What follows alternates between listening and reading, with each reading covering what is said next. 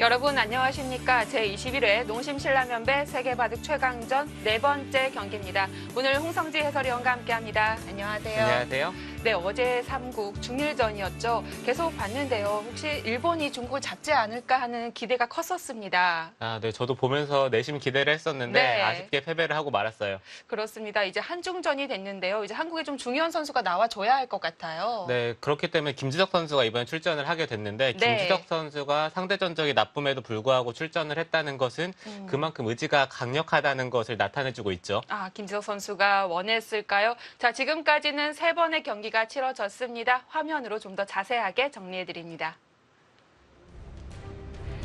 네, 농심 신라면배가 이제 벌써 21번째를 맞았습니다. 한국기원이 주최 주관하고요. 우승 상금은 5억 원, 그리고 3연승 시부터는 1천만 원, 연승 상금이 따로 준비가 되어 있습니다. 네, 제한 시간은 각자 1시간 1분 1회. 그리고 이번에는 베이징에서 벌어지고요. 음. 2차전은 부산, 3차전은 상하이에서 벌어지죠. 꽤 오랫동안 이렇게 벌어진 이런 전통이라고 볼 수 있을 것 같아요. 네, 어느 순간 1차전은 항상 베이징, 네. 2차전은 부산, 3차전은 상하이로 굳어졌어요. 네, 1차전은 4국까지 예정이 되어 있습니다. 바로 오늘 1차전 마지막 대국이고요. 자, 본선 참가자 한중일 상복지라고 할 수 있는 농심 신라면배입니다. 이렇게 15명의 선수들 얼굴이 보이고 있는데요. 흑백 처리된 부분은 이제 탈락한 선수들. 이제 한국은 4명, 중국 5명 모두 살았고요. 어, 일본은 2명이 탈락을 했습니다. 네, 일본 선수들이 항상 좀 아쉬운 부분, 음. 아쉬운 모습을 나, 타내주고 있는데 네.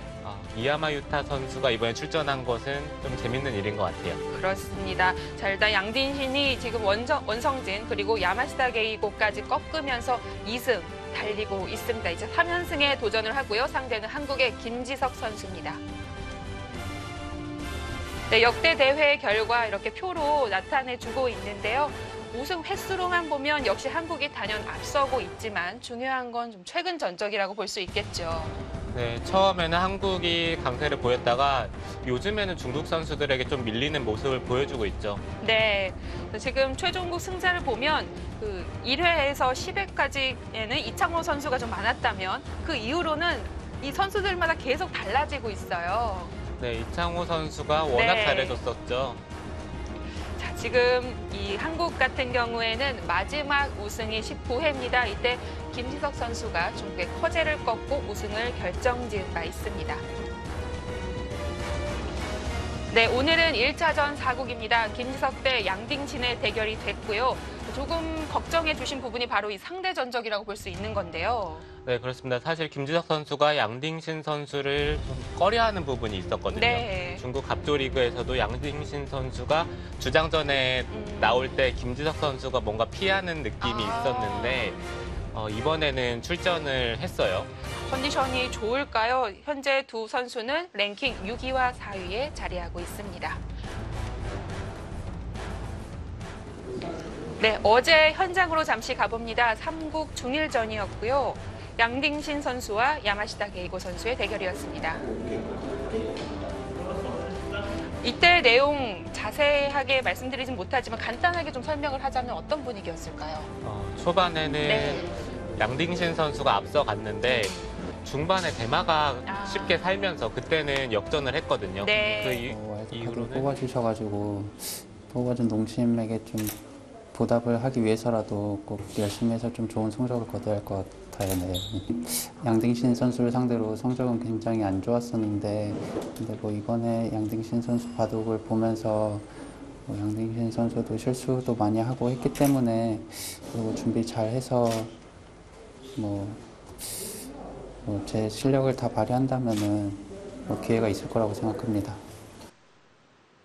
네, 김지석 선수가 조곤조곤 이야기를 했는데요. 인터뷰 보니까 어떠신가요?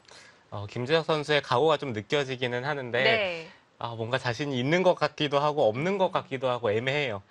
검토실에서 지켜본 바로는 양딩신도 실수가 제법 있는 것 같다라는 이야기를 했거든요. 네, 사실 이번 농심배 1차전 때는 양딩신 선수의 내용이 좋지 않았기 때문에 네. 그간 김지석 선수가 알던 양딩신 선수가 아닐 거예요. 음. 그래서 좀 자신감을 얻지 않을까 생각이 되고요. 그래도 부담은 꽤 클 것 같아요. 항상 중국이 우승할 때 분위기를 보면 1차전에서 좀 치고 나가는 이런 모습을 많이 보여줬었거든요. 네, 그렇습니다. 확실히 김지석 선수의 역할이 오늘 굉장히 크죠. 네. 자, 2차전 오늘 결과에 따라서 매우 달라질 수가 있겠습니다. 한국 동등하게 2차전 시작을 할 수 있을지 아니면 뒤쫓아가는 입장이 될지 오늘 김지석 선수에게 많은 것들이 달려 있겠습니다. 저희와 함께 지금부터 응원을 해주시고 이제 출발해 보겠습니다. 제21회 농심신라면배 세계바둑 최강전 1차전 4국입니다.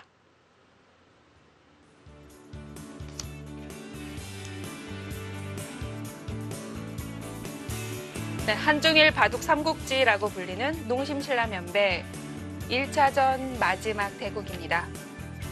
현재 중국 5명, 한국 4명, 일본 3명 순차적으로 남아 있고요.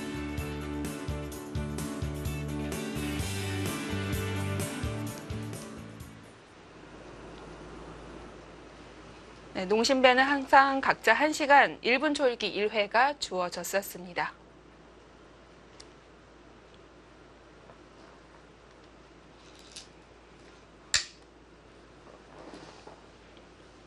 그래도 김지석 선수가 좀 흔하게 자신감을 보이는 스타일이 아닌데도 상대의 실수가 보였다라고 이야기한다는 건 일단 좋게 받아들였을 때 자신감으로 볼 수 있을 것 같아요. 네, 김지석 선수가 그간 양딩신 선수에게 좀 내용이 네. 그렇게까지 바둑이 자신의 스타일로 이끌어가지 못했던 적이 많고요. 음. 네, 여러 가지로 좋지 않았기 때문에 네. 뭔가 좀 피하는 경향이 있었거든요. 근데 이번에 1차전을 보면은 이 선수가 실수가 생각보다 많았어요. 네. 그렇기 때문에 그 점이 김지석 선수에게 좀 자신감으로 다가오지 않았을까 음. 생각이 드네요.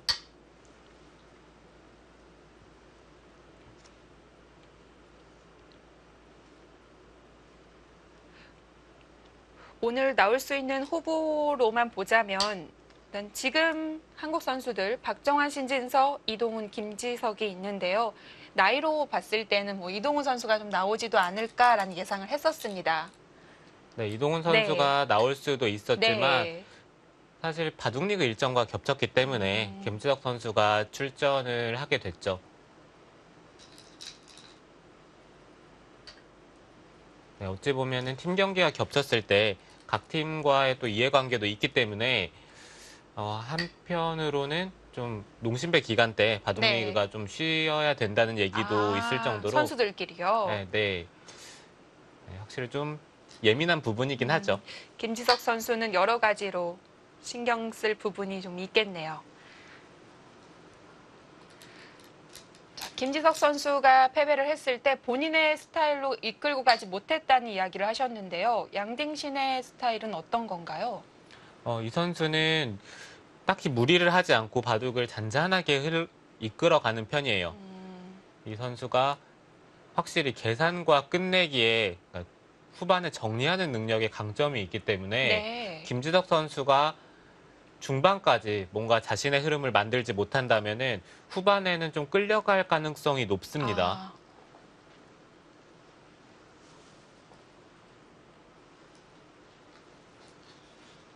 그리고 전체적으로 바둑을 두텁게 짜기 때문에 김지덕 선수가 흔들어 갔을 때 네. 그것을 견뎌내는 게 센 것 같아요. 두터운 곳에서는 뭔가를 만들어내거나 찌르기가 어려울 수 있겠습니다.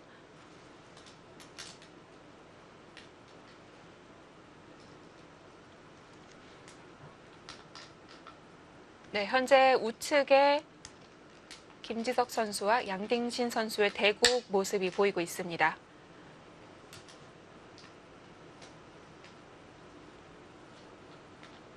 양딩신 선수도 이번에 흑번을 잡았을 때 세계대 우승할 때는 양화점 포석을 주로 사용을 하다가 이번 1차전 때는 화점 소목을 많이 뒀거든요. 네. 근데 자신의 스타일과 뭔가 좀 맞지 않는다라고 다시 생각이 들었기 때문에 양화점으로 돌아가지 않았나라는 네. 생각이 듭니다. 이 포석이 평소에 애용하는 포석인 거군요. 네, 최근에는 가장 많이 사용을 한 포석이죠.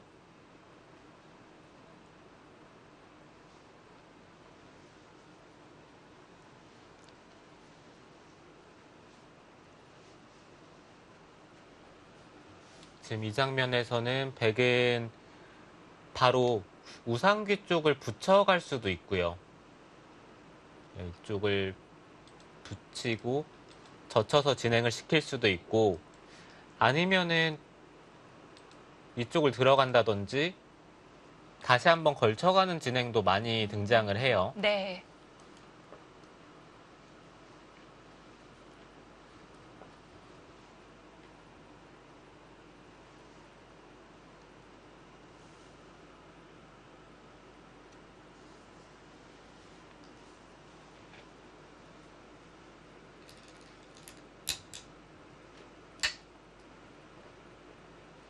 음, 그렇네요. 현재 화면에서도 흑에게 우상귀 그쪽에서 두 선수의 손이 바쁘게 움직이고 있습니다.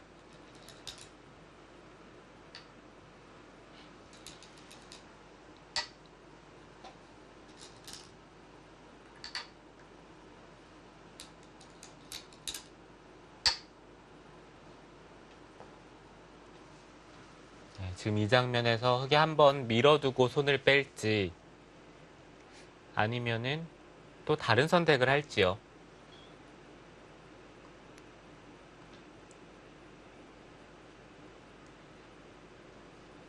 가장 많이 두어지는 것은 하나 밀어두고 손 빼는 것을 가장 많이 두기는 하는데 네. 이곳을 밀고 흑이 손을 뺀다면은 다음에 여전히 이쪽을 꼬부리는 자리가 너무 좋아요. 네, 그렇기 때문에 여기서 뭐 이렇게 날일자를 두는 것도 간간히 등장을 하고요. 계속 밀어가는 건요. 네, 이쪽을 계속 밀어간다면은 백이 젖힐 겁니다. 네. 그러면은 흑이 끊고 네, 이런 식의 진행이 많이 등장을 해요. 여기는 하나 더 밀어두고요. 잡고 백도 살고요. 네, 백도 살고요. 그 다음에 흑이 젖힌다든지 아니면 날일자로 많이 진행을 합니다. 아니면은 여기를 밀고 한 번 더 밀었을 때 이때 백이 손을 빼는 것도 네, 최근에는 많이 두는 것 같아요. 아, 두 점머리 맞아도 살면 크게 아프지 않다는 건가요? 네, 여기는 당하더라도 네. 끊어 잡으면은 나중에 이쪽에 약점도 있기 때문에 네, 백도 충분히 둘 수가 있습니다.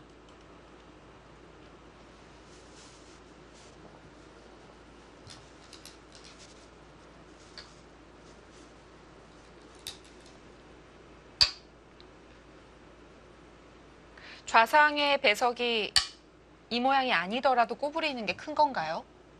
네, 그렇죠. 언제든지 이쪽을 네. 꼬부리는 자리는 큰 자리죠. 음. 여기에 3, 3의 흑돌이 없더라도 다음에 이쪽을 꼬부린다든지 아니면 날일자로 두는 게 네. 네, 너무 좋은 자리입니다.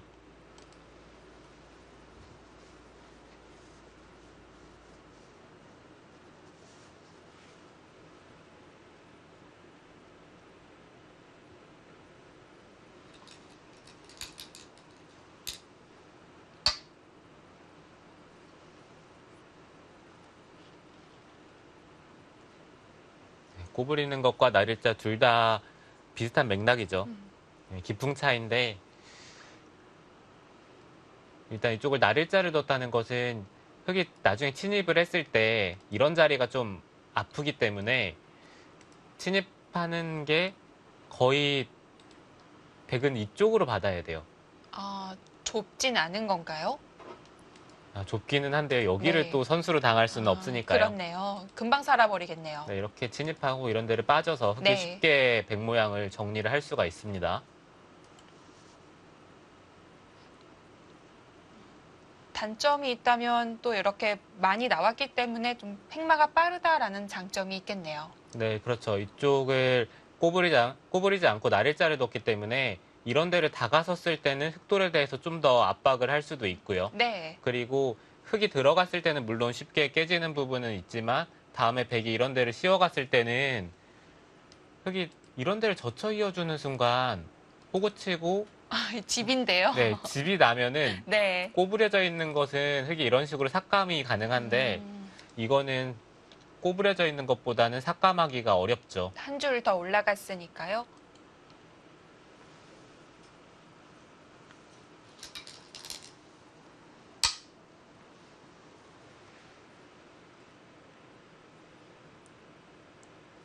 흙도 이쪽 부근을 당하면은 상변을 들어갈 시간이 없기 때문에 네. 네, 이곳을 빠져나오면서 침입하는 것을 노려보는 거죠. 예를 들어 지금 백이 날일자 둔 곳 있잖아요. 그곳과 좌상 쪽에 딱 중간 정도 되는 곳 오선에 하나 지켜두면 집 아닌가요? 아, 여기요? 네. 이 정도로 지킨다면은 그냥 집은 지어줄 것 같아요. 인정은 해주나요? 네, 뭐 굳이 당장 들어가지는 네. 않고 뭐 나중에 이쪽을 끝내기를 한다든지 중앙 쪽에서 활용을 한다든지 집은 이런 식으로 노골적으로 짓는 게 그런가요? 네, 물론 좋을 상황도 있지만 네. 지금 너무 큰 자리가 많아요. 음, 네, 그렇기 때문에 일반가로 굳어, 굳어질 수도 있겠네요. 네, 지금은 이 자리가 일단 좋아 보이고요. 그 다음에 둔다면은 뭐 이쪽이나 아니면 이곳을 하나 붙여두고 뭐 이런 식으로 흑도를 압박을 한다든지 다른 쪽으로 손을 돌릴 가능성이 성이 높습니다. 네.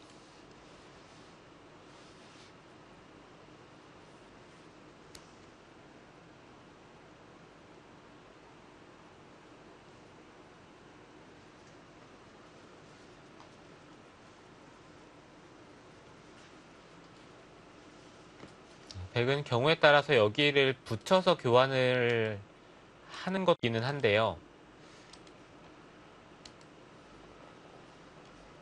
흙이 받아준다면은 나중에 상변 쪽을 들어갔을 때 아무래도 이쪽에 돌이 있는 만큼 흑돌이 조금이라도 더 공격을 받겠죠. 네. 네, 물론 잡힐 돌은 아니지만 네, 백은 이 교환을 통해서 좀 더 흑돌을 압박을 할 수가 있습니다.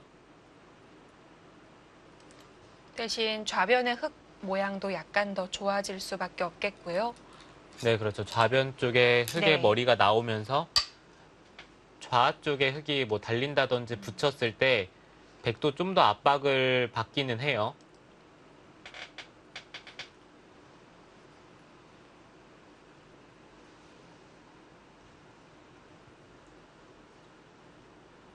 여기서 흙은 한 점을 움직이는 건가요? 아니면 다가가는 건가요? 음, 둘다 가능해 보입니다. 바짝 다가서는 것도 있고요. 예. 네, 최근에는 이렇게 좀 한 발 늦춰서 다가가는 경우도 많아요. 백이 이한 점을 공격하면서 자연스럽게 돌이 이쪽으로 온다고 본다면은 이 돌이 가까이 있을수록 다음에 백이 들어가는 게 아, 강력하기 때문에 네. 네, 최근에는 얼핏 보면 좀 느슨해 보이지만 이곳이나 뭐 이런 식으로 좀 멀리서 다가가는 경우가 많습니다. 네, 부분적으로는 여기를 당장 붙이고 젖혀서 두는 게 가장 집으로는 민감한 수고요. 네. 최근에는 뭐 이쪽을 붙이는 수도 종종 등장을 하는데 이것에 대한 변화가 좀 어렵기는 해요. 뭐 이런 식으로 둘 수도 있고요. 이러면은 백이 단수치고 음. 돌파를 했을 때 뭐 이런 자리를 끊고요. 백이 아. 잡는다면은 네.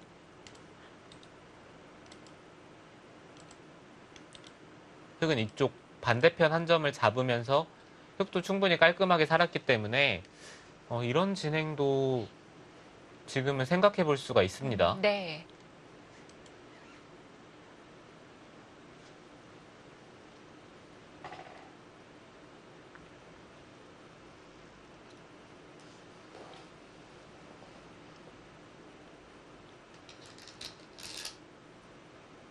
아, 그 보기 중 한 곳으로 갔습니다. 네, 최근에 백이 네. 이렇게 두 칸 역공을 했을 때 이쪽을 붙이는 수가 자주 등장을 합니다. 그 길 말고 서로 흑백이 다른 쪽으로 바꿀 순 없는 건가요? 백이 아래쪽으로 받는다면은 흙이 붙이고 이은 다음에 이곳을 미는 자세가 괜찮고요. 네. 네, 물론 백도 흙이 밀었을 때 여기를 벌리는 게 괜찮기 때문에 지금 이 선택이 어찌 보면은 백이 좀 간명하게 처리하는 방법이 될 것 같고요. 위로 젖히고 붙일 때 이곳으로 끼우는 것도 있기는 합니다. 이렇게 된다면은 백은 이곳을 끊고 네, 이런 식으로 한 점을 단수치게 되는데 아 이거는 일단 흑에게 귀 쪽에 실리를 내준다는 게 네. 저는 개인적으로 좀 마음에 들지는 않아요. 음, 또그 전에 백이 협공간 돌이 약간 좁아 보입니다. 네, 그렇죠.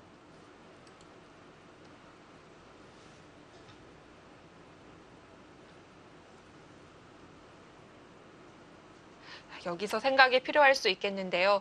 이 양딩신 선수가 만약 20회 때 작년에 나왔다면 조금 이번 같은 체감은 없었을 것 같아요.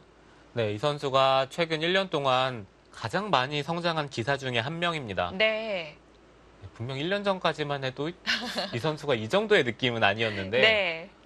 최근에는 중국에서 뭐 커제 구단, 미이팅 구단, 네. 그리고 양딩신 구단, 그리고 구주하오 구단 이렇게 네 명이 가장 좀 잘 나가는 음. 기사이지 않을까 생각이 들 만큼 네. 성적이 너무 좋아요. 딱 그 랭킹 순으로 되어 있는 거네요. 네, 그렇죠. 그래도 중국은 확실히 랭킹을 봤을 때 아, 이 선수는 셀 것 같다라는 그런 느낌보다는 세계 대회에서 성적을 냈을 때 아, 이 선수가 세 보인다라는 느낌이 좀더 크게 다가오거든요. 이 양딩신 선수가 이번 해에 세계 대회 성적이 매우 좋았죠. 네, 그렇죠. 삼성화재배에서 우승, 아니, 준우승을 차지했고요. 네. LG배에서 우승을 차지했기 때문에 뭐 이 선수만큼 뭐 세계대회에서 성적이 좋은 기사가 또 있을까 싶을 정도로 세계대회에서 성적이 네, 너무 좋습니다. 모르시는 분들도 많았을 것 같아요. 어, 양딩신이 우승, 준우승을 했어? 이렇게 처음 들으시는 시청자분들도 있으실 것 같은데요. 네, 그렇죠. 대회가 중국끼리 결승전을 치렀기 예. 때문에 아, 이게 좀 좀 관심 바뀌었죠. 네, 관심이 좀 가진 않았지만 그래도 기사들은 좀 관심 있게 네. 지켜봤죠.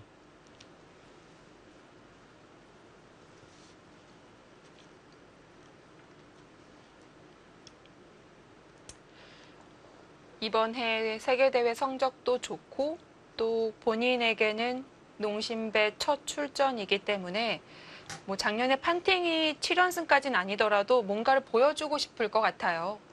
네, 이 선수 최근에 별로 진다는 생각을 하지 않을 겁니다. 뭐 음. 누구랑도 자신이 있을 거고요. 네. 네, 이번에 첫 번째 주자로 나온 만큼 뭔가를 보여주겠다는 생각이 강하게 있겠죠. 그걸 김지석 선수가 막아야 합니다.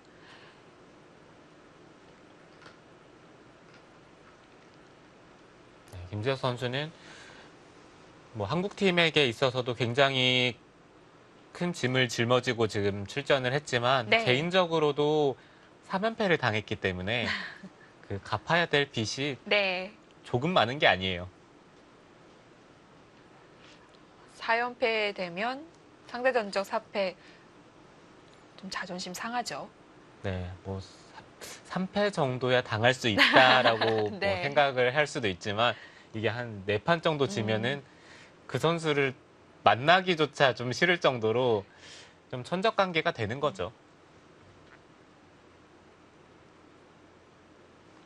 이번에는 빨리 나왔어요. 김지석 선수가 한국이 마지막 우승했던 19회, 9회 같은 경우에는 마지막에 나와서 최종국까지 승리 거뒀었는데 이번에는 한국의 두 번째 주자로 나섰습니다.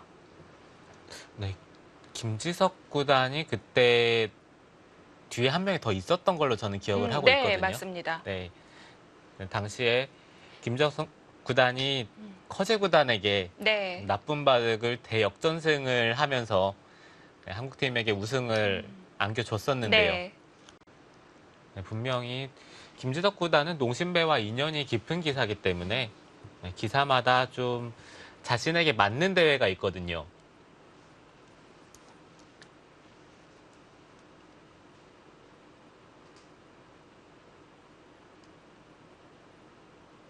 김지석 구단이 농심배 전적이 11승 6패인데요. 중요한 대국이 참 많았습니다.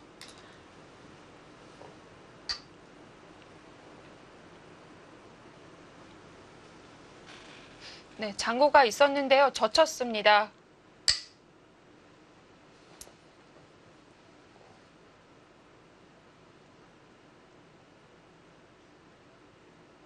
붙였을 때 백이 네. 할수 있는 반발 중에 하나고요. 역시 끼우진 않았네요. 네, 끼우는 선택은 일단 실리를 내주기 때문에 네. 네, 썩 마음에 들지는 않아요.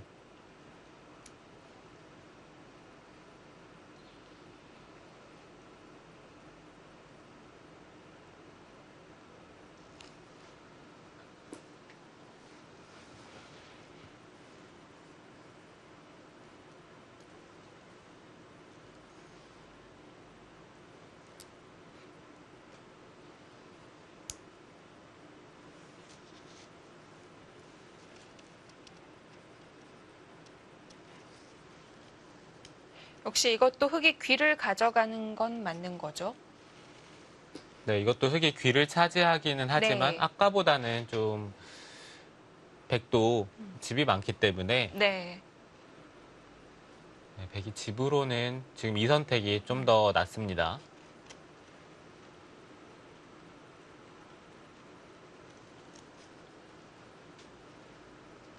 자, 여기서 양딩신 잠시 손을 멈췄습니다. 자, 과연 좌하에서는 첫 번째 변화 어떤 결과가 나오게 될까요? 제21회 농심신라면배 세계바둑 최강전입니다.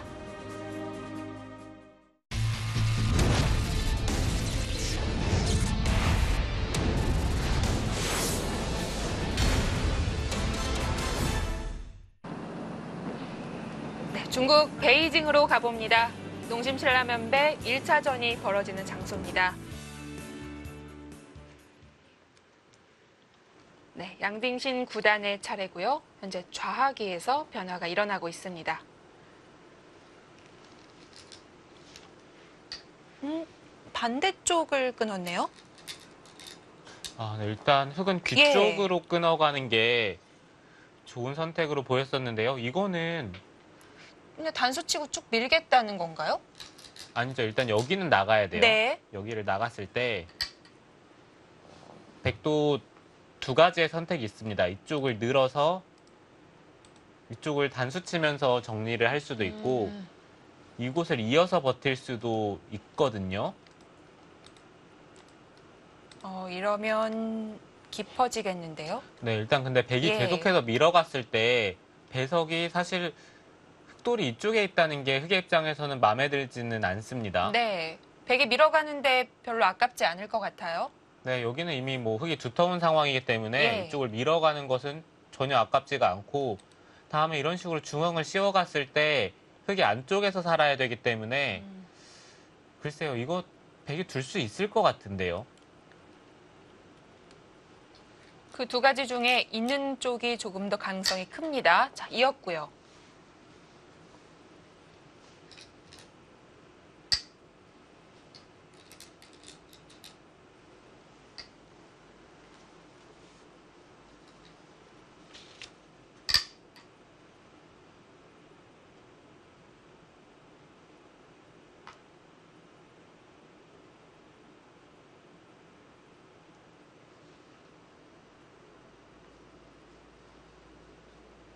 네, 여기서는 백은 계속해서 세점 쪽으로 밀어가는 게 좋아요.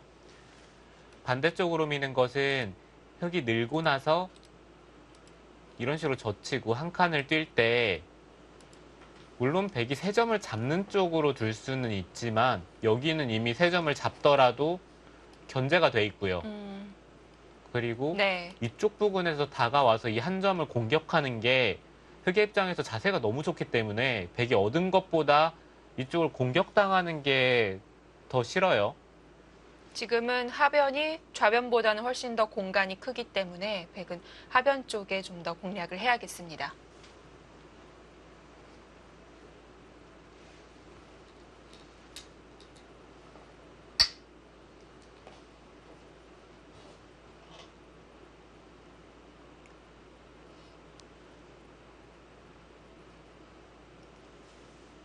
흙도 늘고 여기까지는 그래도 어느 정도 예상이 됩니다. 지금 이 장면에서 백의 선택인데요. 집만 놓고 본다면 여기 단수 치는 게 정말 아, 네. 크거든요. 중앙을 씌웠을 때 흙이 뭐 적당히 교환을 하고 이쪽을 느는 순간 이 백돌의 사활도 확실하지가 않아요. 한 칸을 뛰면은 이 안에서 백이 못 삽니다. 그러면은 늘면은 막아야 된다는 얘긴데 백이 단수 친 것과 비교해서 집으로는 차이가 정말 크죠.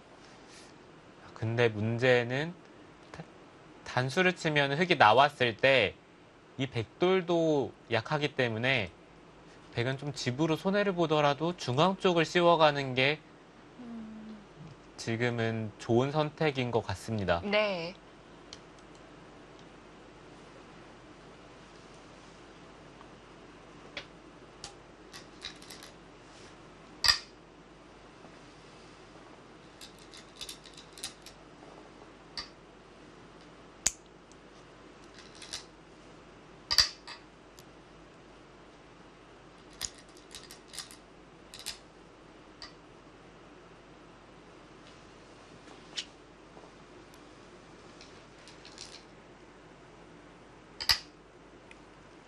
큰 차이는 아니지만 엘프고만 흙이 조금 더 낫다고 합니다.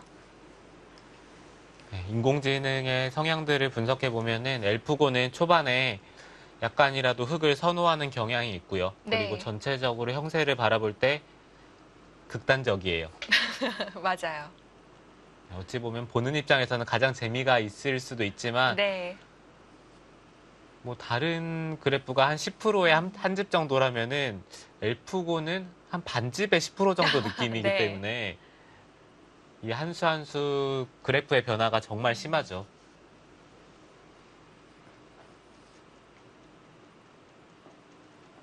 예를 들어 승률이 5% 정도 떨어진다 싶으면 형세에는 크게 상관이 없는 거죠. 네, 그렇죠. 초반에 뭐 네. 5% 10%는 그냥 스타일 따라 이제 자신에 맞게 좀 선수들이 선택을 하는 편이죠. 네. 네, 초반 퍼센테이지는 큰 의미를 갖지는 않습니다.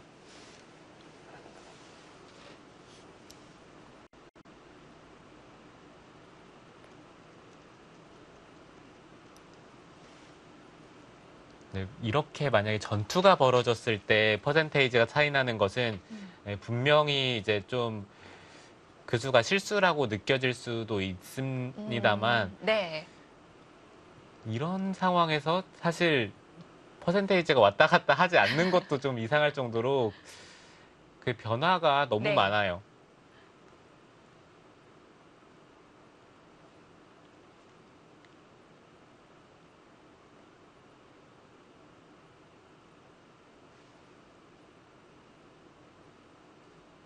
두고 싶은 곳이 두 군데니까요. 고민을 해보고 있습니다.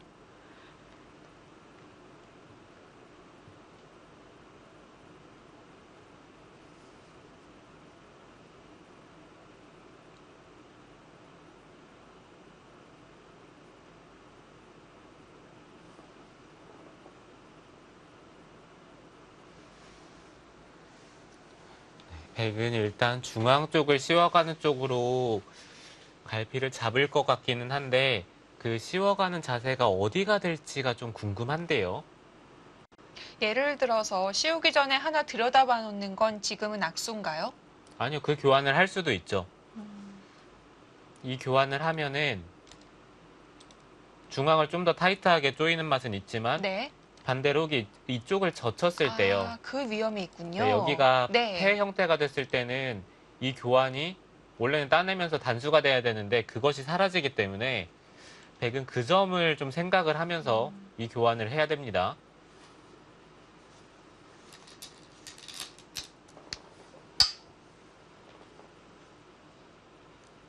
아, 일단은 갑니다. 네, 이거는 씌우고 젖힌다면은 그냥 뒤쪽에서 막을 생각인 거예요. 음.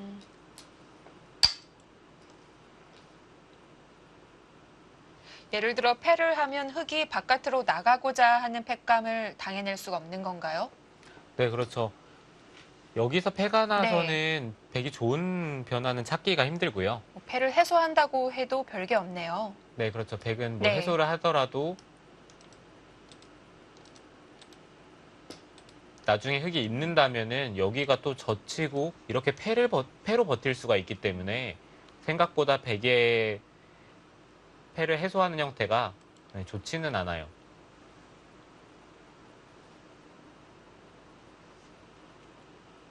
여기서 흙도 일감은 이 자리를 달리는 건데요. 막는다면은 밀어 올려서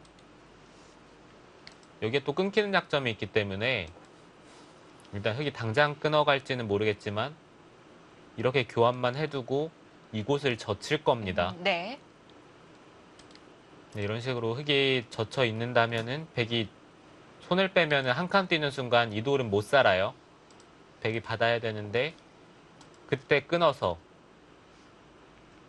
어, 이 진행은 백이 좀 피곤하겠네요.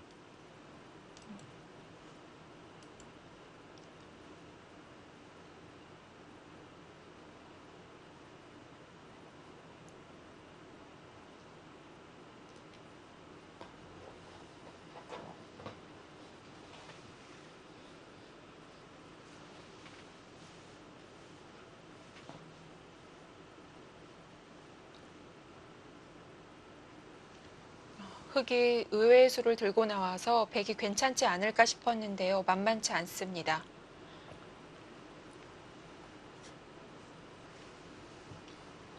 네, 흙이 이쪽을 나갔을 때요. 백이 있는 선택을 했지만 여기를 늘어서 두는 게 좀 더 쉬웠던 것 같아요. 흙이 어차피 좌변 쪽에 돌파하는 것은 여기의 가치가 네, 별로 크지 않기 때문에 네. 이 아래쪽의 흑도를 좀 더 중요시 하는 게 아래쪽의 흑도를 잡는 게 더 좋았던 것 같습니다.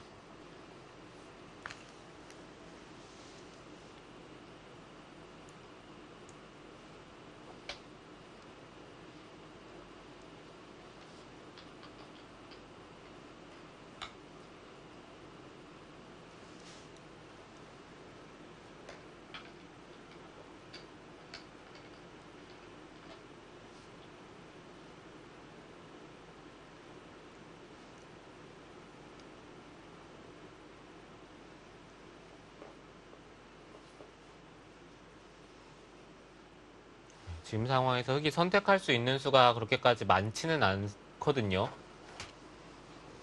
뭐 여기를 달리는 것과 이쪽 부근을 두는 것, 네, 둘 중에 하나인 것 같은데요. 여기를 꼬부리는 것은 늘어서 백이 약점이 없어지기 때문에 네, 이 수는 살더라도 그렇게 좋은 선택으로 보이지는 않습니다. 네.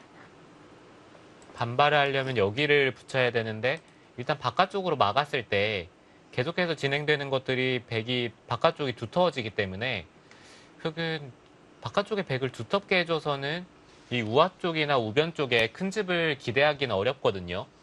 이런 것들이 뭐 사는 데는 도움이 되겠지만 흙의 입장에서 그닥 하고 싶지는 않아요.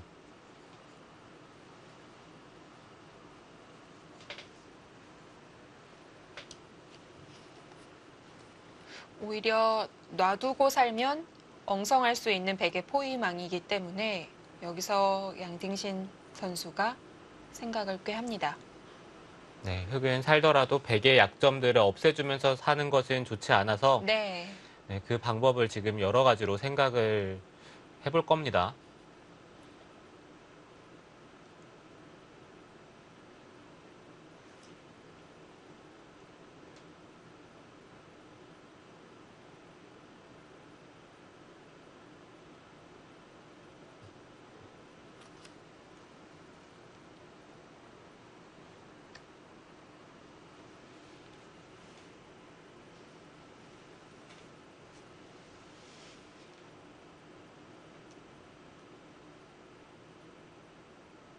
아까도 궁금했는데 지금도 김지석 선수가 뭘 자꾸 먹죠?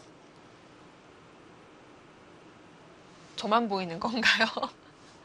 아, 저는 저 화면에 아직 그렇게까지 집중해서 본 적이 없어서 네, 먹는 장면까지는 못 봤는데요. 보통 기사들이 바둑 두면서 초콜릿은 많이 먹는 편이에요. 음, 네, 생각하다 보면은 좀 당도 떨어지고 네. 초콜릿을 먹으면은 머리가 좀 잘 그런 이야기가 네. 있죠. 돌아간다는 얘기가 네. 있기 때문에 그게 뭐 물론 느껴지지는 않겠지만 네, 그런 얘기를 들으면 그런 것 같기도 하잖아요. 네. 그렇게 세팅을 해 놓는 거죠.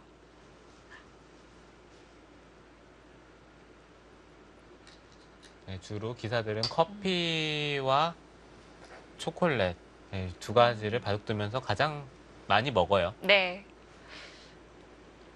아, 역시 생각한 보람이 있었던 건가요?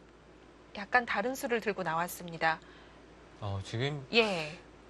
이수는 일단 베개 형태를 좀 무너뜨리겠다는 생각인지 여기를 나와서 끊었을 때 네. 뻗는 거 말고 방도가 있나요? 어, 글쎄 여기 뻗으면은 괜히 또 움직였다가 나중에 짐이 될 수도 있을 텐데요. 네, 밀어서 네. 아직 흙은 하변을 살아야 하는 부담감이 남아 있습니다.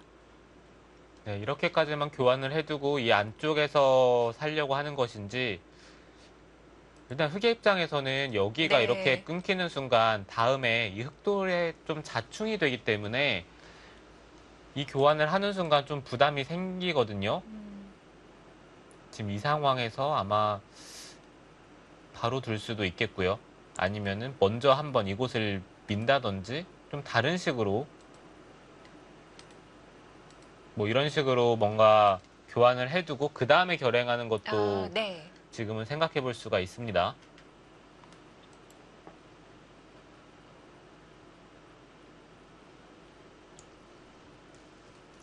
백도 여기를 나와서 끊으면은 이돌에게 자충이 차기 때문에 만약에 그게 싫다면요. 그냥 여기를 밀어서 둘 수도 있어요. 네, 이렇게 되면은 어찌됐든 흙이 바깥쪽으로 나오기 때문에 하변도 빨리 벌려야 할 텐데요. 네, 그렇죠. 아, 근데 이 진행은 백이 좋지는 않겠습니다. 얇아질 수 있겠습니다. 네, 전체적으로 바둑이 너무 얇아요. 네.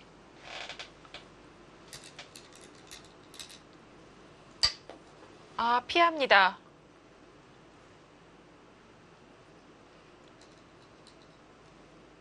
끊는 모양이 사납다고 봤고요. 흙도 내친 김에 젖히는 것까지 가고요.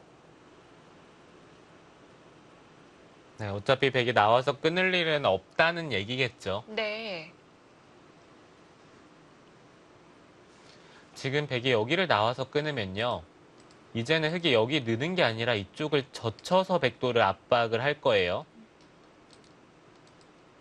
네, 이곳을 나오는 모양이 백도 사납기 때문에 이러고 나서 흙이 아래쪽을 살아버린다면은 여기가 축이 안 되는 순간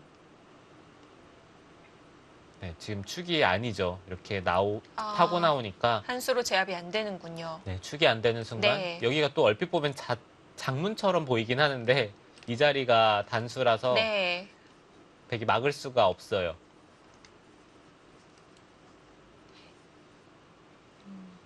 밀고 나서는 계속 그곳을 둬야 되겠네요. 젖히나요?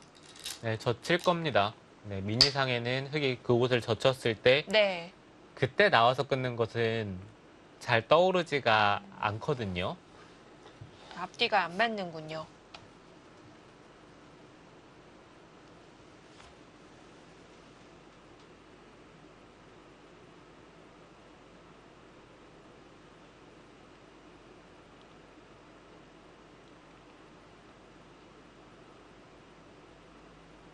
여기서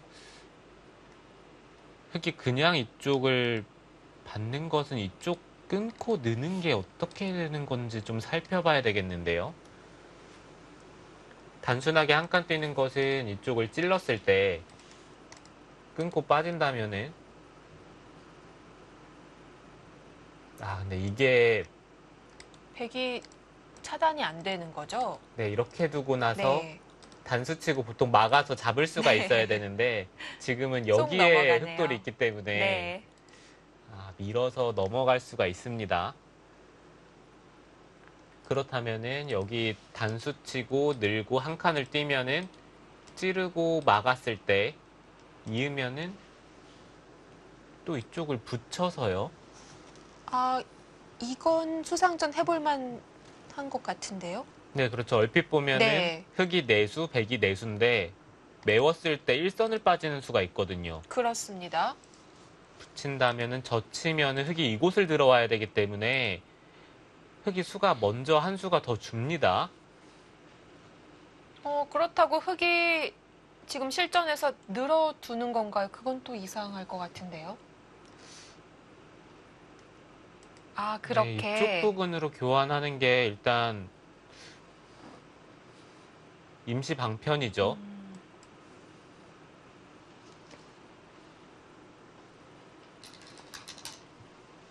아, 늡니다.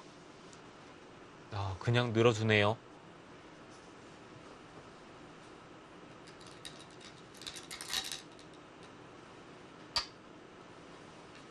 계속해서 김지석 구단은 백이 끊어가는 모양이 좋지 않다고 보고 피하고 있고요. 계속 나가면 그냥 호구로 지키겠다는 뜻이겠네요. 네, 흑이 계속해서 네. 나가면은 이곳을 하나 찔러두고 네. 호구 쳐서 지키겠다는 뜻이겠죠. 어, 얼마 못 나가고 막히는 모습이 되니까 네, 아니면은 찌르고 여기를 씌워가는 것도 생각해 볼 아. 수가 있어요. 막힐 수만 있다면 그 편이 더 낫겠네요. 네, 근데 백도 약간은 신경 쓰이는 부분이 있죠. 이- 이런 데를 찌르거나 붙였을 때. 네. 네, 물론 당장은 이쪽 끊는 게 있기 때문에 네, 흙이 좀 불가능해 보이긴 하지만 네. 일단 씌웠을 때 흙은 적당히 손 빼면서 이런 데를 먼저 붙이면은 이 바깥쪽에 좀 약점이 거슬리기는 해요.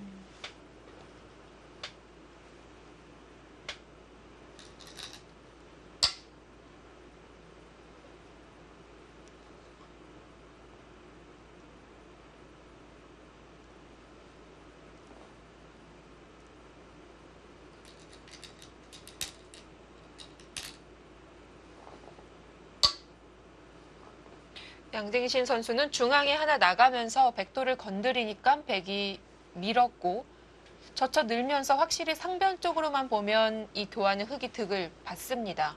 네, 일단 좌변 쪽이나 그리고 상변 쪽에 흙의 머리가 나왔기 때문에 네. 집으로는 흙이 계속해서 이득을 보고 있어요. 네, 김지석 구단이 바깥쪽을 틀어막으면서 공격은 하고 있지만 실질적으로 얻는 것은 크게 없기 때문에 아, 그 점이 좀 마음에 걸리네요.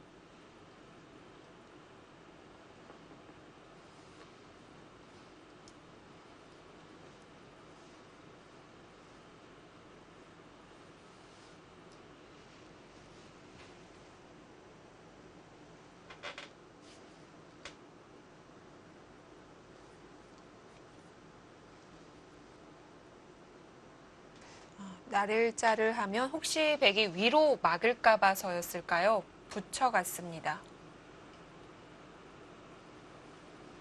네, 붙이는 것은 좀 더 확실하게 살겠다는 뜻이겠죠.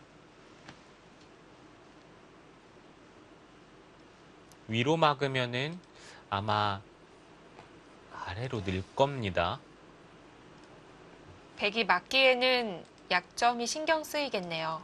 네, 막으면은 네. 흙이 일단 깔끔하게 살아두고요.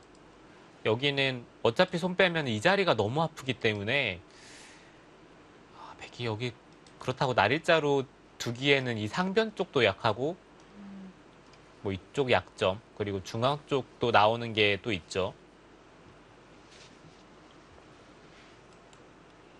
아래로 젖히면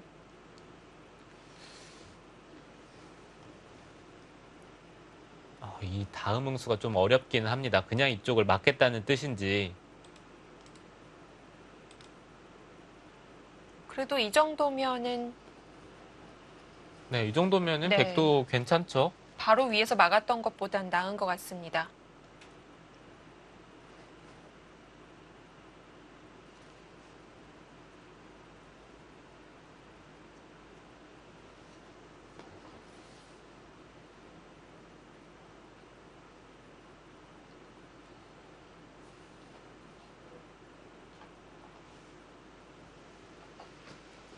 백도 위쪽에서 막는 것보다는 아래쪽에서 젖혀가는 게 모양만 놓고 본다면은 좀더 좋네요.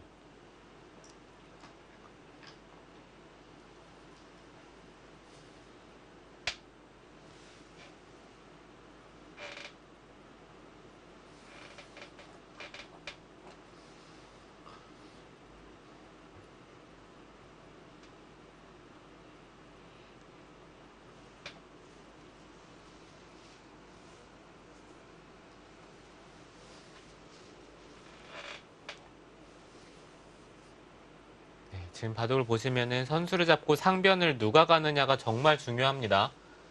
백이 먼저 두면은 거의 뭐 한 20집 정도는 상변 쪽에서 마련을 할 수가 있는데 반대로 흙이 먼저 둔다라고 본다면은 뭐 이곳이나 이곳을 먼저 두면은 이게 백이 공격을 당하기 때문에 오히려 좌상 세 점을 연결하기에 급급하겠는데요. 네, 오히려 흙집이 날 수가 네. 있어요.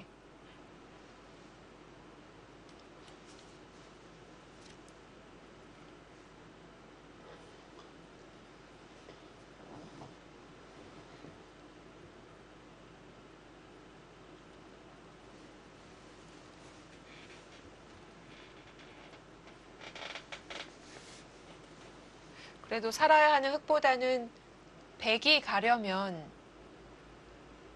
갈 수는 있을 것 같은데 얼마나 방치를 해놓고 가느냐가 문제겠네요. 네, 여기를 젖히고요. 네, 이렇게 이으면은 예, 흙도 여기를 호구를 칠 거예요. 그럼 여기 단수 쳐야 되거든요. 아 이미 살아 있나요? 단수 쳐도? 네, 단수 치는 순간 이곳과 이곳이 아. 맛보기로 흙은 살아 있죠. 그렇다면은 지금 이 상황에서 단수를 치고 손을 빼야 된다는 얘기가 될 수도 있는데 아 이거 끊기는 자리가 백도 막상 견딥니까? 아, 근데 이렇게 견디기는 쉽지 않을 것 같습니다.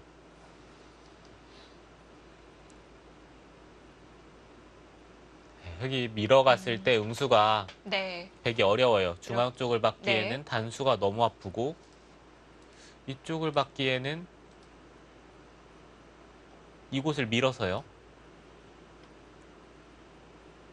있는 것은 저침당해서 이쪽의 백이 너무 얇아지기 때문에 백은 늘어야 되고 두 점을 잡으면은 네, 한 수에 이렇게 중앙 쪽이 뚫려서는 백이 괴롭겠죠.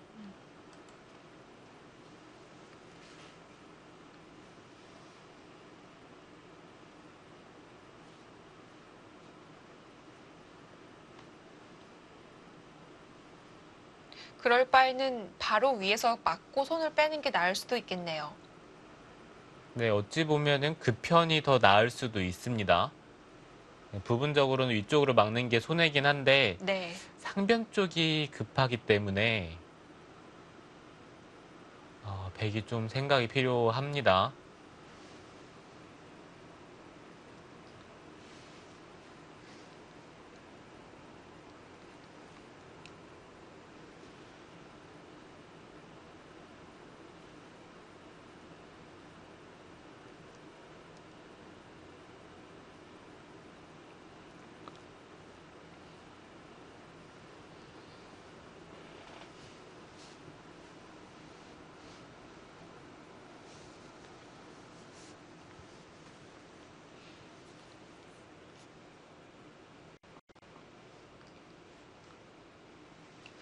지금까지 진행된 수순 중에서는 가장 긴 장고가 나오고 있는 것 같은데요. 아, 착수를 합니까?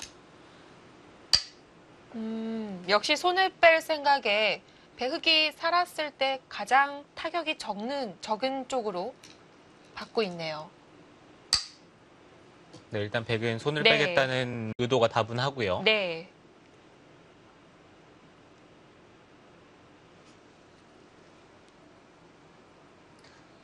백도 손을 뺀다면은 지금 이 장면에서 손을 빼야 될 수도 있어요. 아, 막지도 않고요. 네, 이곳을 막으면은 네, 물론 이 교환 자체는 하변만 놓고 본다면 득이 될 수도 있지만 어차피 흙이 이쪽을 느는 것은 찌르고 단수 치는 수가 기분이 좋기 때문에 아, 근데 또 그렇지만도 않네요. 여기를 흙이 이런 식으로 지키는 방법도 있으니까 아 그렇다면은 그냥 이쪽까지는 막고 손을 빼는 게 가장 버티는 수겠죠.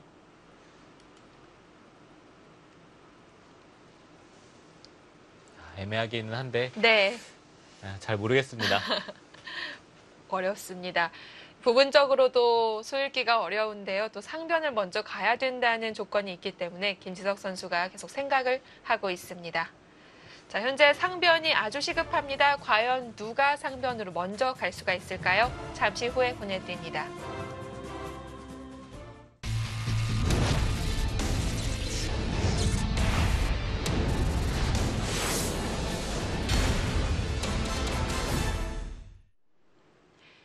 네, 항상 농심신라면배 1라운드가 펼쳐지는 베이징의 아, 자금성입니다.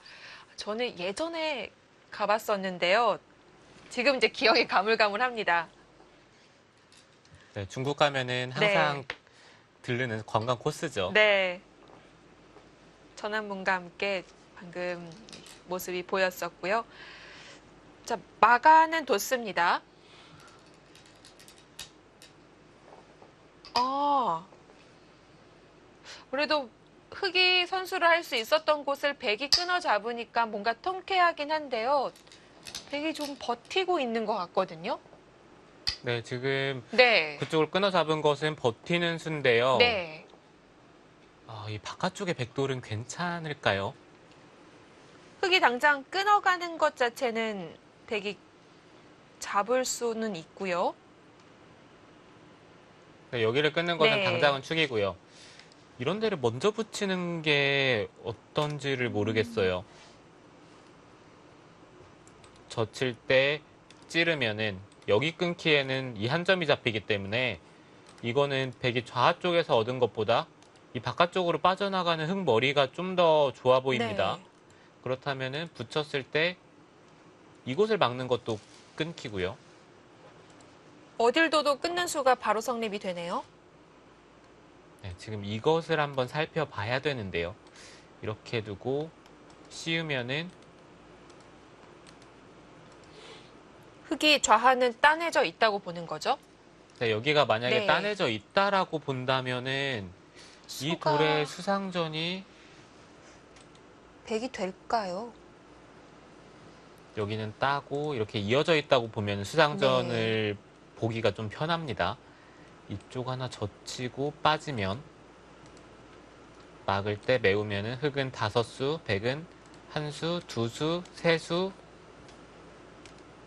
이렇게 하면은 네 수죠. 넷다 여섯이 되는 건가요? 넷, 다섯, 여섯 수. 네. 아, 부분적으로는 백이 한 수가 빠른데 여기에 패가 있기 때문에 음. 이거는 백이 흑도를 잡더라도 이 바깥쪽이 아, 네. 네, 메워지면서 되는 거기 때문에 아, 그게 백이 좋을 것 같지는 않아요. 음.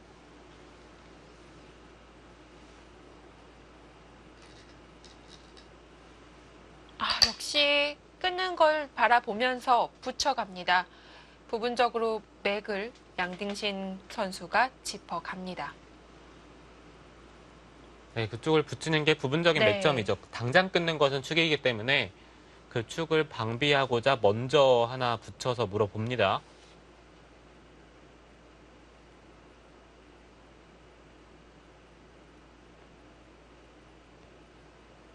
어, 지금 백도 있고요. 끊을 때 치고 치면 안 될까요? 치면은 나가서요. 그리고 호구 치면 어, 지금 이렇게 두는 것도 아, 지금 이게 괜찮네요. 이쪽을 당하더라도 그냥 이으면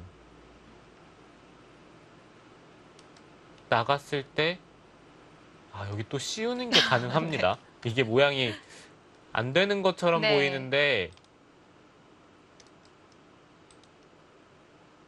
끊으면은 그냥 이어서요. 흙이 바깥쪽을 어떻게 조일 수가 없습니다. 아, 뭐 있는 것은 네. 끊겨서 바로 안 되고 호구 치는 것도 단수 치면 연결을 할 수가 없죠. 그래도 그렇게까지 가려면 백도 솔기와 결단이 필요할 것 같고요. 이었습니다.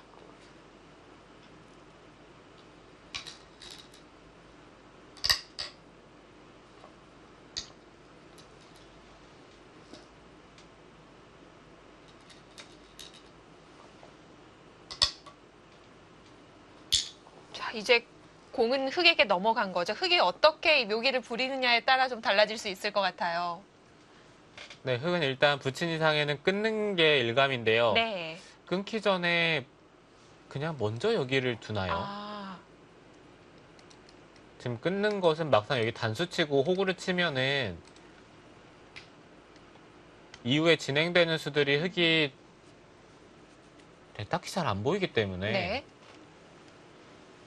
아 그냥 여기 단수 치고 이렇게 돌파를 합니까? 아, 주고요. 근데 이거는 백이 나쁠 것 같지가 않아요. 이렇게 두고 늘면은 여기서 이미 이득을 많이 받기 음. 때문에 흙이 바깥쪽으로 나가더라도 여기도 또 되겠는데요. 네. 집으로 득을 받고요. 이건 흙이 재미가 없을 것 같습니다. 네, 그렇죠.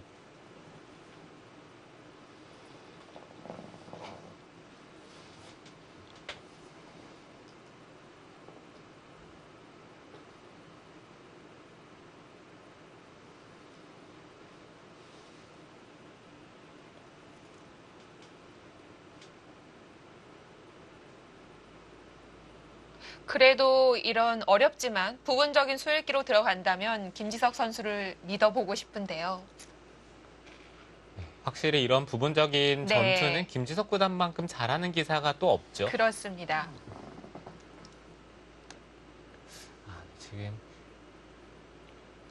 여기 끊고 나가고 호구 칠 때 이곳을 교환을 하고요. 그 다음에 젖히면 아, 이 변화가 좀 어렵네요. 음, 끊으면은 여기 넣는 게 선수니까 중앙이 또 봉쇄가 되겠네요. 아, 이거는 안 되고요. 네, 이게 네. 이게 그래도 까다롭네요.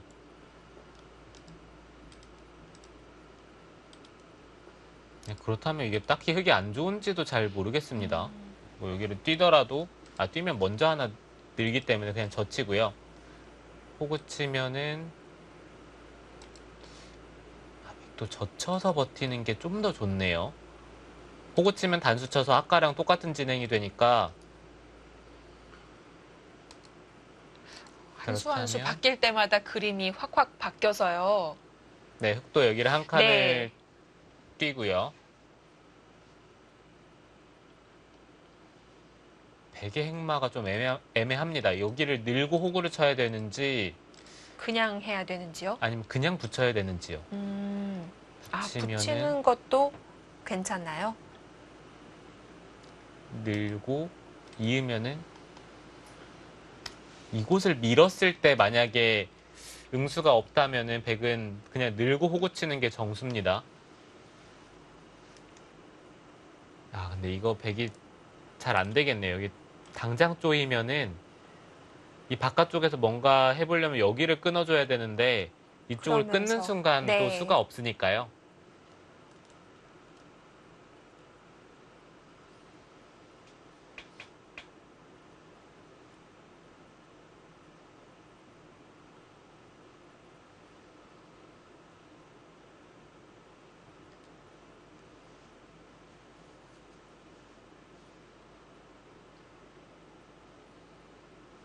축소는 했는데요.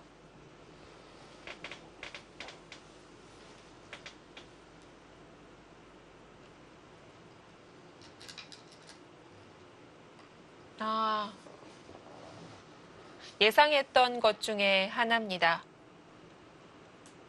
네, 그쪽을 먼저 두더라도 네. 네 가능합니다. 여기를 잇고 젖혔을 때 끊는 것은 단수치고 여기 호구쳐서 있더라도 씌우면 이게 백이 잘 안 됩니다. 나와서 끊는 게 어차피 수를 조이면은 이쪽에서 끊고 뭔가 수가 있어야 되는데 꽉 막는 순간 아까와 비교했을 때 여기에 흑돌이 있는 만큼 수로 차이가 나기 때문에 네. 네, 이거는 백이 안 되죠.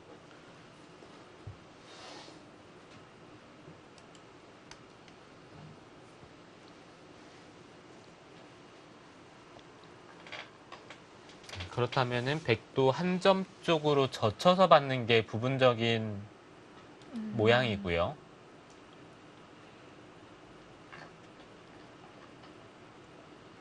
흙이 나오면은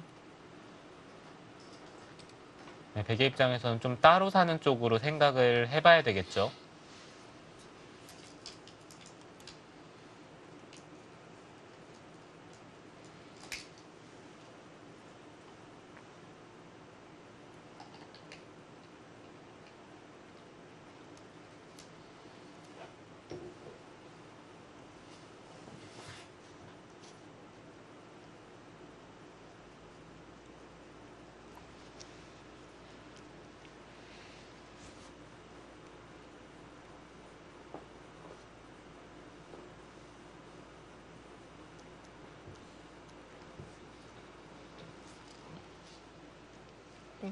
이제는 흙이 살고자만 하는 것이 아니라서 상변을 보기는 힘들어졌고요.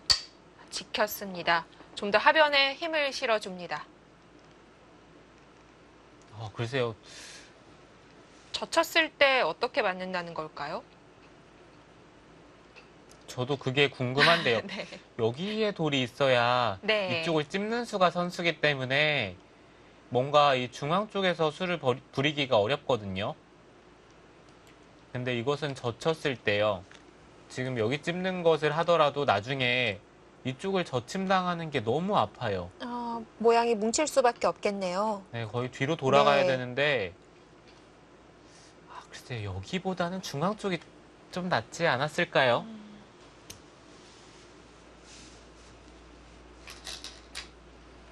어차피 중앙은 뚫린다고 보고 차라리 하변 쪽으로 돌린 것인지 흙은 당연히 젖혔습니다.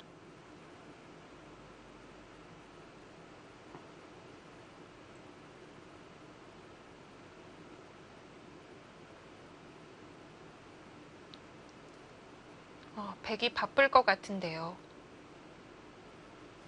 네, 백은 지금은 이쪽을 젖혀서 두는 게 좋은 것 같아요. 호구를 치면은 그냥 이쪽을 단수 치고 막고요. 끊으면은 이어서 두 점을 버리더라도 그냥 이쪽은 가볍게 정리를 하고 이곳이나 아니면 상면 쪽을 지키는 게 아, 네, 지금은 그 선택이 어떨까 하는 생각이 들기는 합니다.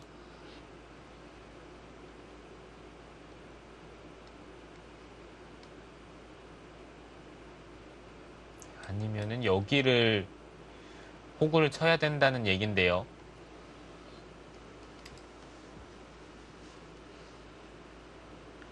네, 이렇게 된다면은 이 백돌에 대해서 좀 압박이 되기 때문에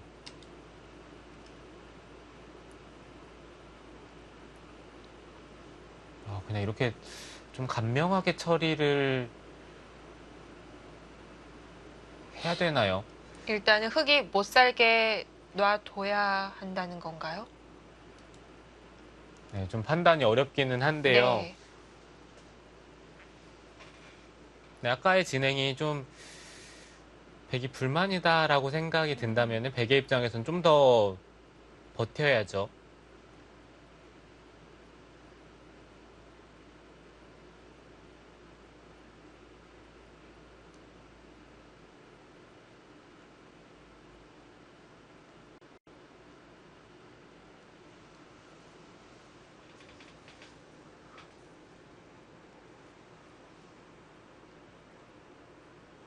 백도 그냥 호구를 치겠네요.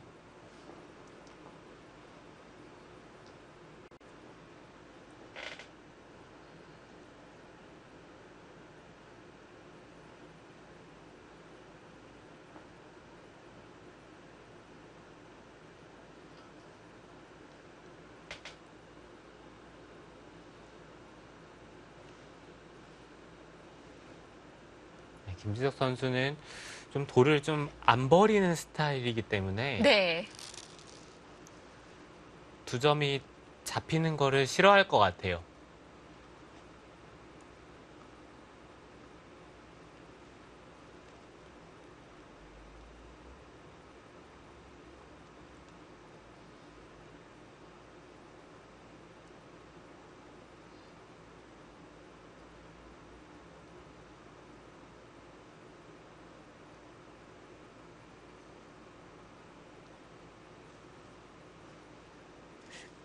일단 이쪽의 전투만 잘 정리를 한다면은 백이 상변을 두는 순간 집으로는 해볼 만해요.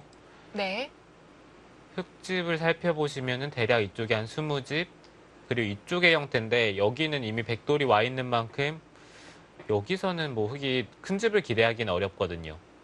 그러면 여기를 지키는 순간 상변 쪽에 집이 난다면 여기도 한 25집 이쪽도 10집 이상 그러면 여기서 흙이 한 20집 만들어야 개가라는 건데 흙이 집이 20집을 만들 수는 있어요. 근데 백도 같이 집이 늘어나기 때문에 네. 여기만 잘 정리를 한다면은 그래도 집으로는 해볼만 합니다.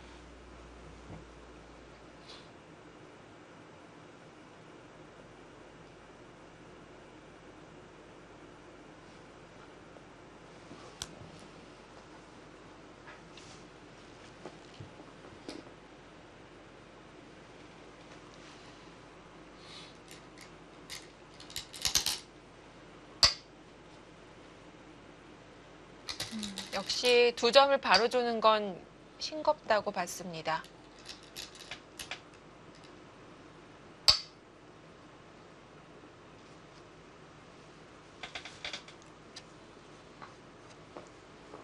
네, 상변에도 도움을 주면서 중앙 쪽 돌 움직여 가고 있고요. 확실히 김지덕 선수는 돌을 버리는 것을 싫어하죠.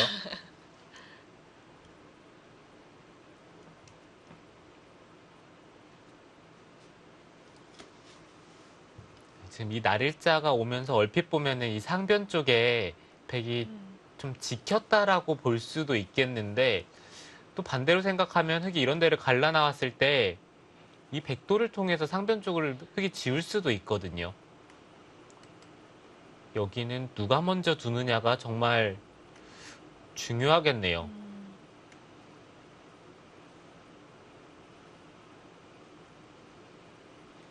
흙은 단순하게 집으로만 놓고 본다면은 이 자리가 좋아 보이기는 합니다. 백을 또 지키게 만들 수 있고요. 네, 한 칸을 네. 띄면은 뭐 이런 데를 하나 늘어두고 중앙 쪽을 두텁게 정리를 해서요. 일단 귀도 지키고 이 흙돌도 깔끔하게 살았기 때문에 이 자리도 지금 정말 좋은 자리예요.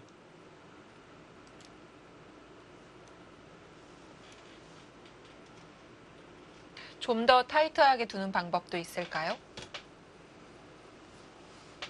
네, 글쎄요. 중앙 쪽은 어딜 네. 어딜 두던지 백은 아마 여기를 벌릴 겁니다. 음. 뭐 이런데 날일자를 두는 것은 뭐 다음에 이 두 점을 잡는 자세가 그렇게 기분 좋은 느낌도 아니고요. 좀 타이트하게 둔다면 이쪽을 젖혀야 된다는 건데 젖히는 것은 백이 이쪽을 젖혀서 받을 수가 있어서 이 두 점은 어차피 못, 잡, 못 잡습니다. 네. 여기가 선수니까요. 오히려 젖혀서 백이 받으면은 이곳의 약점만 부각이 되죠. 아, 너무 또 중앙에 힘을 쏟다가 실속을 놓칠 수가 있겠네요.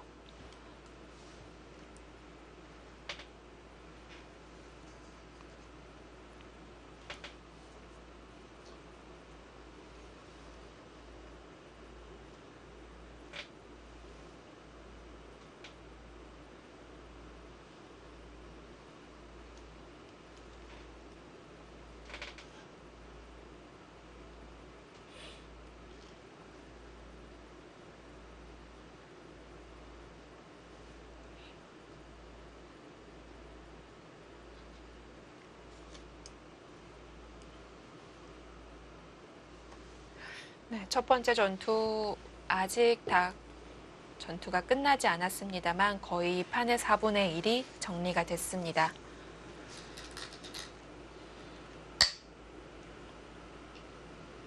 어, 지금 아. 그 수는 이게 양딩신의 두터움인 건가요? 너무 두터운 거 아닌가요? 느린가요? 뭐 이 두텁다와 느슨하다는 한 장 차일 수 있으니까요. 아, 네. 글쎄요. 그 수는 제가 봤을 때 딱히 그렇게 좋은 수로 보이진 않습니다. 일단 네. 두텁긴 한데 두터움보다 좀 느슨함에 가까운 것 같아요.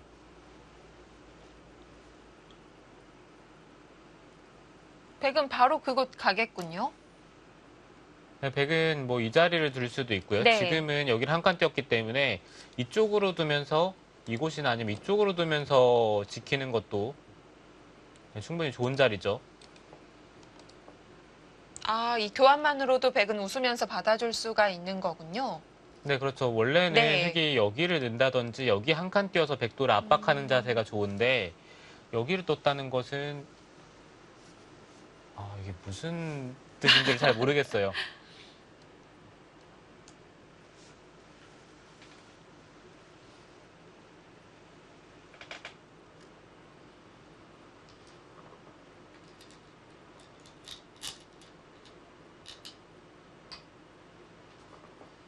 아, 흙이 가르고 나오는 곳이 신경 쓰였나 봅니다.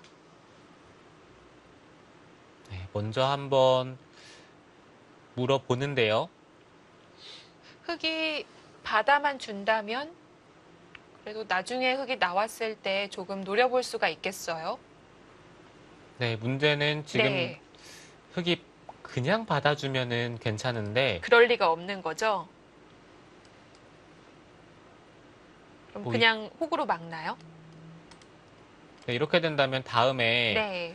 여기를 젖혀서 나오는 게 아니라 이쪽을 붙이는 게 아. 지금 이 자리가 신경이 쓰이죠. 젖히면은 그때 젖혀서 네. 그렇다고 여기를 끊기에는 지금 이 백돌이 잡히기 때문에 이거는 백이 안 됩니다. 거친 이 건너붙이는 수를 남겨놓는다는 건 오히려 약점을 더 키우는 느낌이 있는데요. 네, 그렇다면은 여기를 네. 교환을 하고 받을 때 백은 중앙 쪽을 한 번 더 받아야 되겠죠. 아, 근데 이게 받더라도 여기가 집이면은 좋은데 흙이 들어갔을 때 백이 잡을 수 있는지는 잘 모르겠어요.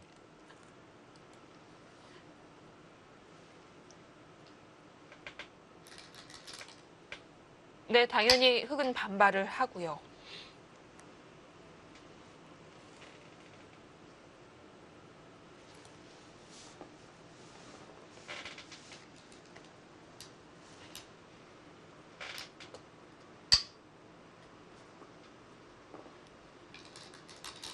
아, 정말 그렇게 갑니까?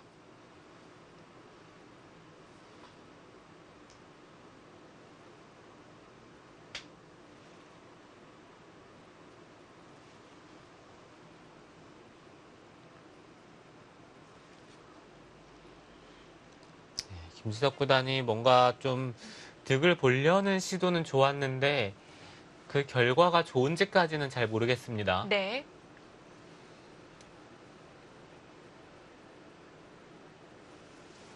백이 중앙 쪽에서 지키기에는 여전히 이쪽 부근을 흙이 침입을 했을 때요. 뭐 이곳이나 아니면 이쪽으로 침입을 했을 때 여기 젖히는 게 신경이 쓰이기 때문에 절대 못 잡을 것 같아요. 네, 백이 이 중앙 쪽으로 네. 지킬 수 있는지는 잘 모르겠어요. 네, 하변은 백이 안전하다고 보고 상변 쪽으로 치중을 하고 있습니다. 자, 과연 김지석 선수는 상변에 몇 집 정도를 마련할 수가 있을까요? 제21회 노심신라면배 세계바둑 최강전 4국입니다.